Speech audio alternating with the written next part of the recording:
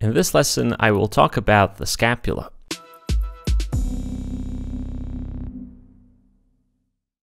Scapula is a flat bone as you can see it.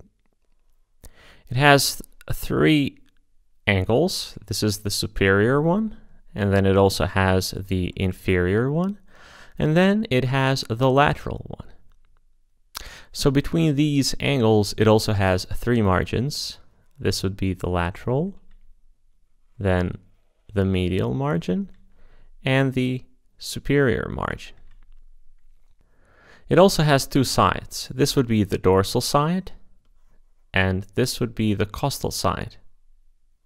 It is slightly curved to match the thorax and the ribs.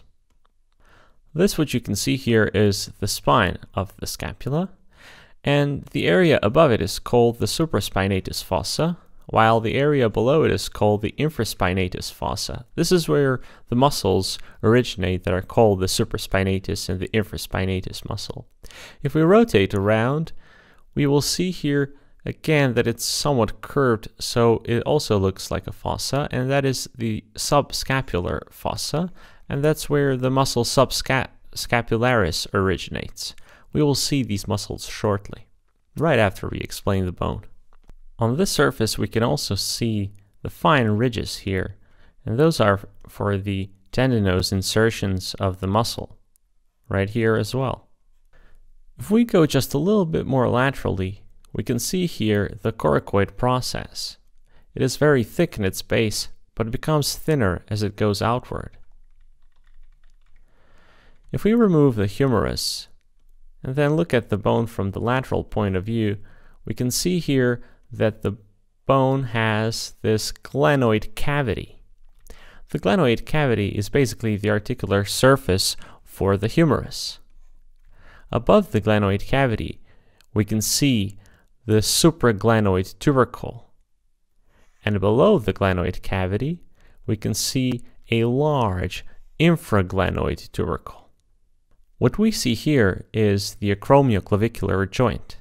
The acromioclavicular joint is made up by the acromion of the scapula and the acromial end of the clavicle. Not always easy to recognize, we can also find here the deltoid tubercle for the deltoid muscle. It's not always easy to recognize it, it's not always that prominent. One thing not to forget is that here we have the scapular notch. The scapula is normally a very free bone, very movable bone. It is only attached here at the acromioclavicular joint and also here at the glenohumeral joint. Besides that, the bone is completely free and only held by some muscles. These lessons and models come as part of my software called Animated Anatomy that you can purchase on animatedanatomy.com. If you don't want to purchase it, then you can click here to subscribe for free lessons in the future.